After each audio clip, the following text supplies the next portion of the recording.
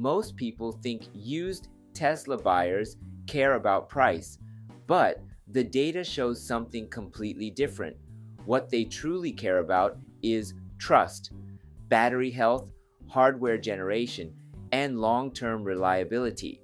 And understanding this mindset gives us a clear window into where Tesla's global used car market is heading. Hi, this is Ken. If you're a Tesla investor, owner, or future buyer in the US, UK, or Canada, this actually matters more than you think because the way buyers evaluate used Teslas tells us three things how strong Tesla's resale market will become, how hardware and software updates affect long term value, and how Tesla can capture future margin growth. This video breaks it all down using real survey data and my own analysis from the Japanese market, which in many ways mirrors the global mindset. I recently ran a nationwide survey in Japan asking Tesla owners and potential buyers what concerns them most when considering a used Tesla. The responses were surprisingly consistent. Price was important, yes, but not the deciding factor. Battery degradation, remaining warranty, hardware generation like HW3 or HW4, the availability of FSD, and trust in the seller were rated just as highly or even higher. When we grouped the free text responses, six themes clearly emerged price and subsidies, battery and hardware concerns, warranty and repair access, dealer transparency, psychological expectations, and the overall ownership experience after purchase. Let's break down the real insight here. The number one concern, mentioned 54 times, was the price difference between used and new Teslas. But right behind that were battery degradation with 47 mentions and warranty remaining at 46. That tells us something important. Used Tesla buyers are not bargain hunters, they're risk managers. They want a car they can trust. They want to know how healthy the battery is. They want clarity on whether the car is using HW3 or HW4, and they want a transparent story behind the vehicle accident history, repair history, interior condition, charging habits. This is not the traditional used car market where mileage is everything. In the Tesla world, two cars with identical mileage can have completely different long term value depending on their hardware generation and update compatibility. From Tesla's perspective, this is a huge strategic advantage. Tesla's cars age differently from traditional vehicles because of OTA updates and software driven features. Hardware generation matters because it determines how far the car can evolve over time. FSD capability becomes a digital asset inside the car, not just an add on. Battery degradation becomes a measurable metric, not a guess. For Tesla, the more transparent these elements become, battery health scores, hardware labels, warranty visibility, the stronger the used car ecosystem becomes, and a strong used market directly supports new car sales because customers feel confident they'll retain value. Now, here's where things get interesting for long term TSLA investors. The used Tesla market is not just a secondary market, it is an extension of Tesla's long term value chain. Higher residual values push more customers toward buying new. Transparent hardware labeling and battery scores increase buyer confidence. And most importantly, FSD and subscription services continue generating revenue even in used vehicles. Think about that for a moment.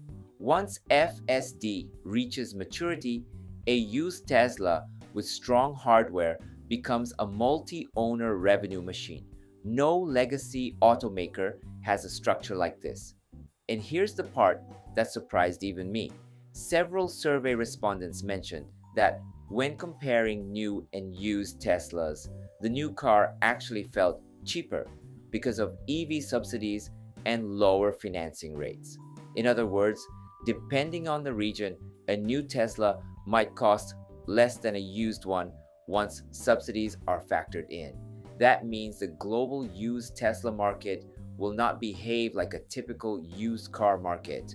Subsidies, financing, FSD transfer rules, and hardware upgrades all shift the value equation. Used Teslas are not depreciating assets in the traditional sense. They are evolving assets. So, what happens next?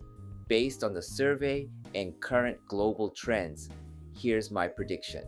Within the next two years, used Tesla listings will include standardized data points, battery health score, hardware generation label, FSD compatibility, charging history, and warranty options. Tesla specialist dealers will rise in demand because buyers want experts, not general used car salespeople. Hardware transparency will become a price driver. Cars with HW4 will command a premium. Cars with strong battery health reports will sell instantly. And once FSD matures, resale value will be heavily influenced by AI capability. This transparency will accelerate the entire used Tesla market, especially in the US and Europe, where demand is already high. For long term investors, this message is simple Tesla's used car ecosystem is a hidden lever for profit, brand trust, and customer retention. Unlike traditional automakers, Tesla controls the full software stack, the update pathway, and the user ecosystem. The more transparent they become with battery health and hardware labeling, the stronger the resale market gets, and a strong resale market supports everything new car demand, margin strength, and software adoption. If you're thinking long term, pay attention to this part of the business. It will quietly support Tesla's next decade of growth. If you want deeper guides on choosing a used Tesla, understanding battery reports, comparing HW3 and HW4, or evaluating FSD readiness, make sure you subscribe so you don't miss the upcoming videos. And if you're actively looking for used Tesla listings, check the link in the description for updated information. Thanks for watching, and I'll see you in the next one. Before we wrap up, let me take a moment to introduce myself. I drive a Tesla Model Y, and at home, I've installed a Tesla Powerwall, so I actually charge my car with solar energy. I truly believe Tesla is shaping the future, and that's why I share the latest news and insights here on this channel. I'm from Japan, but I want to connect with Tesla fans all around the world. That's why I also create an English version of my videos.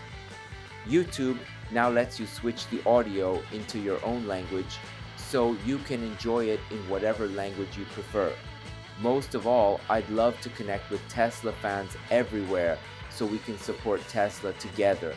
I also share updates on X so feel free to follow me there and let's connect. And if you haven't already, please subscribe to this channel. I'd really appreciate it. Thanks for watching and I'll see you in the next video.